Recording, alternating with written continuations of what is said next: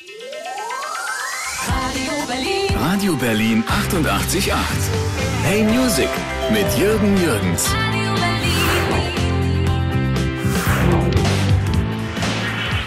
The great commandment shows the content between the world and their embarrassing pavement. Es ist ja eigentlich schon gar nicht mehr wahr, wann es mal angefangen hat, in den wilden 80ern.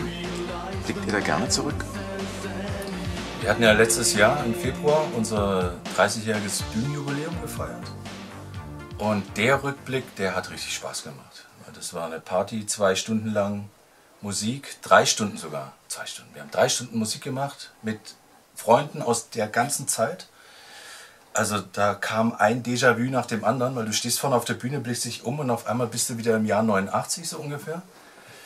Und auch durch diese ganzen Zeiten zu laufen, musikalische Wege, also das war schon toll. Also ich, ich lebe nicht in der Vergangenheit, das nicht, aber ich blicke natürlich auch gerne zurück, weil das, was wir erlebt haben, schon völlig verrückt ist für drei Jungs aus dem Schwäbischen, die dann äh, aus einem kleinen Dorf kommen letztendlich und die Welt gesehen haben durch die Musik und nach wie vor noch Dinge erleben, die sie sich nicht vorstellen konnten früher überhaupt mal.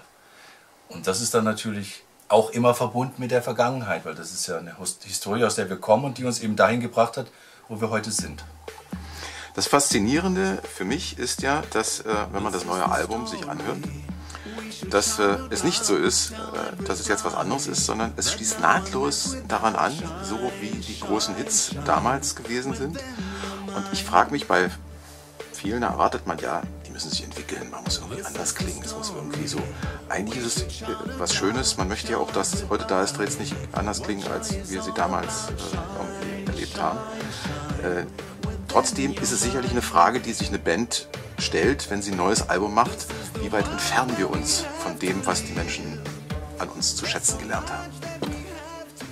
Wir haben sehr viel probiert in unserer Karriere bisher schöne Dinge erlebt, schlechte Dinge erlebt, also auch mit, unseren, mit unserem Ausprobieren, dass äh, die Fans äh, da nicht so ganz angetan waren von. Ähm, als wir jetzt die neue Platte gemacht haben, hatten wir uns schon vorgenommen, dass wir so, ein, so, ein, so die Klangwelt nehmen, die wieder etwas dunkler ist, weil die letzte Platte war schon sehr sonnig im Vergleich dazu. Und wir wollten eigentlich mehr wieder in unsere Ursprungsstimmung, in der wir einfach auch leben, nämlich schon diese Melancholie, dass die wieder mehr Einzug hält in den Sound. Und das war eigentlich schon das vorgegebene Spektrum an Möglichkeiten. Und ähm, da haben wir uns dann auch hinbewegt letztendlich. Also die Songs gehen in diese Richtung, also inhaltlich als eben auch musikalischer Wege. Und dann eben auch die Produktion von Heiko und von Jochen.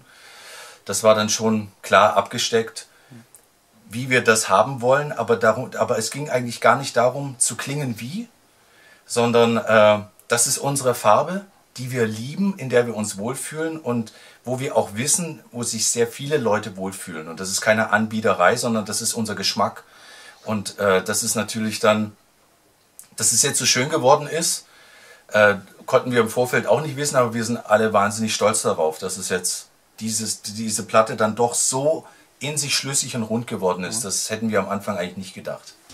Es sind äh, erstaunlich viel sehr softe, äh, auch langsame und vor allen Dingen sehr emotionale Titel dadurch drauf, was man vordergründig eigentlich immer nicht glaubt, dass äh, so elektronische Musik äh, auch so gefühlvoll sein kann.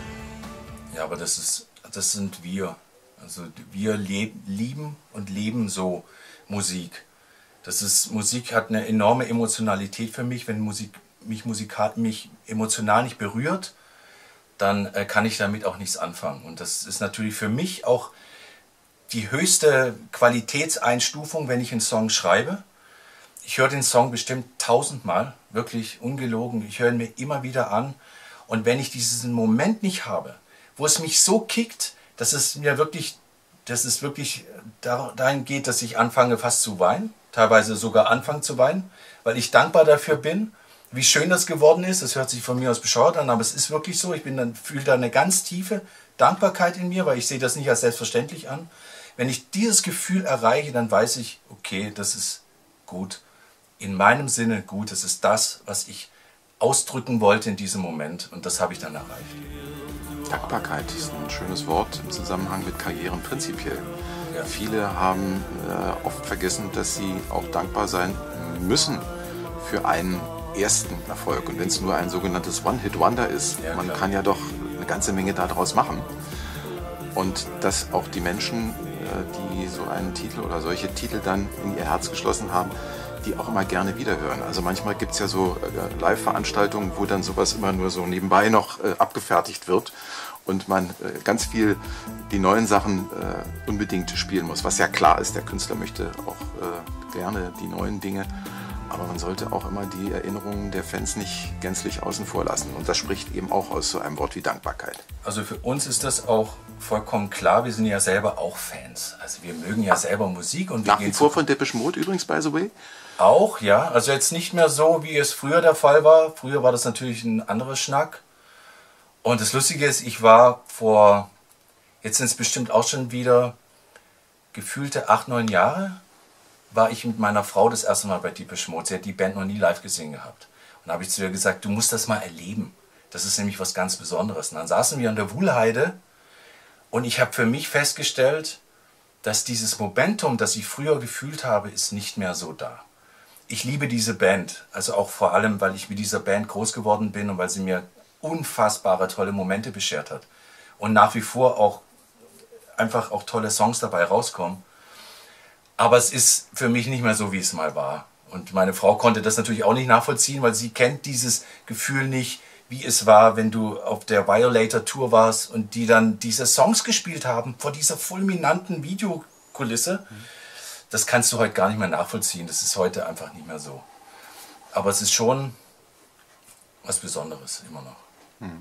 Wir als Fans von Musik sind uns der Verantwortung bewusst, dass man auf der Bühne steht und den Fans auch das gibt, was sie gerne hören möchten. Und dazu gehört natürlich vollkommen klar bei uns Great Commandment, Love is a Shield, Stranger Thoughts oft, also Sachen aus den ersten beiden Alben, aber auch Suspicious Love, Me and You, Sachen, die jetzt gewachsen sind in den letzten Jahren.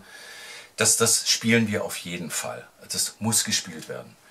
Also, und das ist auch, es ist auch, ein, auch für einen selber auf der Bühne eine ganz große Genugtuung und eine ganz, ganz große Freude, in die Gesichter der Fans zu gucken, wenn du diese Songs spielst. Weil die stehen da unten und es ist ein Leuchten, es ist eine, eine Glückseligkeit, die man den Leuten präsentiert. Es ist so ansteckend, das macht dich selber wieder so wahnsinnig glücklich. Und es gab Zeiten, wo uns das schwer gefallen ist, also wo wir auch Great Commandment in einer Version gespielt haben, wo man echt nur denkt, oh Gott, wie bescheuert war denn das? Und heute denken wir einfach so, hey, vergiss es. Great Commandment ist Great Commandment und Love is a Shield auch und wie sie alle heißen. Die Songs werden sowieso immer im Radio gespielt, egal was wir machen. Die führen so ein Eigenleben. Gib den Leuten, was sie möchten, dass sie den Song sofort wiedererkennen, dass sie darin aufblühen, dass sie abgehen wie das Zäpfchen. Und das ist, das ist toll, das, das macht Spaß. Könnt ihr denn von dem Erfolg dieser ersten Produktion immer noch gut leben? Nein. Nein. Also es ist, es ist ein sehr, sehr, sehr warmer Regen, der jedes Jahr herabfällt, aber davon leben können wir nicht. Also dazu sind die Ansprüche des Lebens einfach zu groß geworden. Wir haben alle Familie, wir haben Verantwortung, das geht einfach nicht. Und was habt ihr jetzt dazugelernt, um davon leben zu können? Taiko lebt hauptsächlich von Film- und Werbemusik. Olli ist Abteilungsleiter bei Universal Music inzwischen im Grafikbereich. Und ich mache schwerpunktmäßig Musik, habe aber auch ein ganz anderes Standbein aufgebaut, über das ich dann jetzt eben auch Geld verdiene. Wenn nicht Musiker, was wäre aus euch geworden?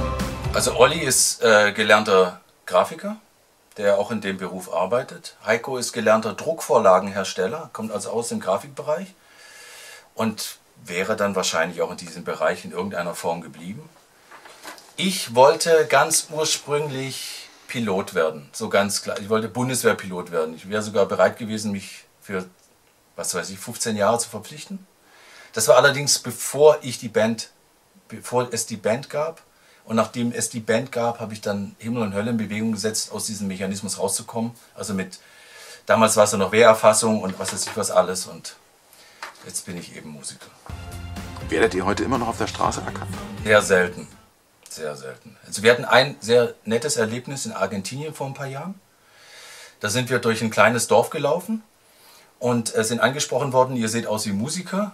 was macht ihr denn für Musik? Und als wir dann die Band gesagt haben, dann haben sie uns sofort erkannt, weil Love is a Shield ist in Argentinien ein Hochzeitslied und das kennt da je, jedes Kind.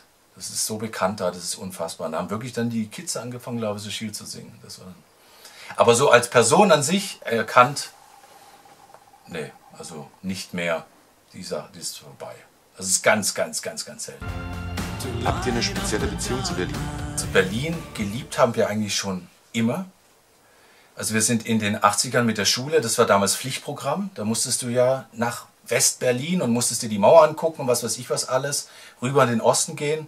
Und Berlin war damals der totale Wahnsinn. Also es war einfach, heute ist Berlin Hauptstadt. Damals war das, war das eine Insel. Da sind wir zu dritt auf dem Motorrad ohne Helm den Kudamm runter und die Polizei hat nur mit dem Kopf geschüttelt. Heute wirst du vom Motorrad geschossen wahrscheinlich, wenn das passiert. Ich stand nackt, nur in der Unterhose bekleidet auf dem Weltbrunnen, um eine Wette für 50 Mark einzulösen. Diese Sachen sind heute natürlich nicht mehr möglich, aber das prägt natürlich auch nach wie vor mein Bild der Stadt. Und ich lebe jetzt seit, seit, 99, seit Ende 99 hier und bin sehr, sehr glücklich und fühle mich hier nach wie vor sehr wohl. Die Tour beginnt am 19. März in München, führt uns über Stuttgart und ach du lieber Gott, Leipzig, Dresden. Wir spielen am 28. in Berlin und äh, haben insgesamt zehn Konzerte erstmal in Deutschland und beginnen jetzt nächste Woche mit den, mit den heißen Live-Proben, wo wir dann eben anfangen zusammen zu spielen. Das endet dann in München mit dem ersten Konzert letztendlich. Und ich muss sagen, dass ich mich wahnsinnig darauf freue. Also jetzt, wir haben jetzt, die letzte Platte war 2006 und quasi seit 2006 haben wir sehr viel live gespielt. Und ich freue mich so, wieder neue Songs zu spielen. Also nicht in dem Sinne, wie du vorhin gemeint hast, wir, jetzt, wir werden zwar sieben Songs spielen vom neuen Album, aber da wir 20 Songs spielen, ist da genug Platz für jede Epoche und jede Platte daraus dann Sachen zu spielen, die die Leute lieben und mögen.